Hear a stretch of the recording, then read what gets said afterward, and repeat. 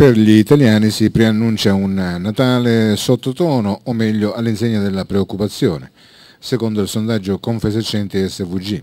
In aumento coloro che prevedono un Natale austero dal 14 al 16%, è difficile dal 13 al 21%, cala chi lo vede come un'occasione di speranza dal 53 al 44% o si dimezza la percentuale di chi lo immagina gaudente dal 12 al 6%.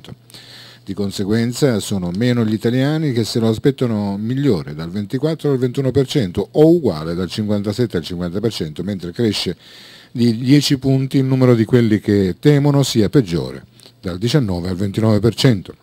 Ma dove andranno eh, le tredicesime impiegate nelle spese natalizie? Ancora una volta a guidare la classifica sono le spese correnti per casa e famiglia. Subito dopo ecco la voce risparmio, seguita da quelle non meno impegnative dei conti in sospesa. Solo dopo spunta il capitolo regali e quello dei mutui. Meno regali per se stessi, ma niente rinunce per i bambini.